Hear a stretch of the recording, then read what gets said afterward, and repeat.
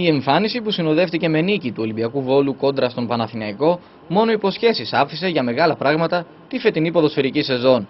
Οι Ερυθρόλευκοι έπαιξαν πολύ καλό ποδόσφαιρο σε ακόμη ένα φιλικό μάτς με αντίπαλο ομάδα από τη Super League και μετά το 4-3 επί του Άρη, θύμα αυτή τη φορά ήταν ο Παναθηναϊκός που γνώρισε και αυτό την ήττα με 2-1.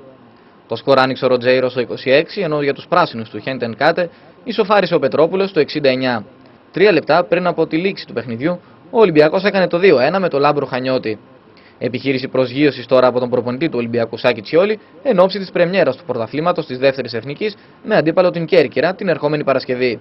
Το πρωτάθλημα για μας η αλήθεια ξεκινάει την Παρασκευή και εκεί είναι όλα για μας. Μελανό σημείο χτες για τους Ερυθρόλευκους ο τραυματισμός του Λεωνίδα Καπάντανη που θα μείνει τουλάχιστον ένα μήνα εκτός αγωνιστικής δράσης. Απογευματινή προπόνηση σήμερα για τους ποδοσφαιριστές του Ολυμπιακού που μπαίνουν πλέον για τα καλά στην τελική ευθεία της προετοιμασίας για την πρεμιέρα του πρωταθλήματος με αντίπαλο την Κέρκυρα.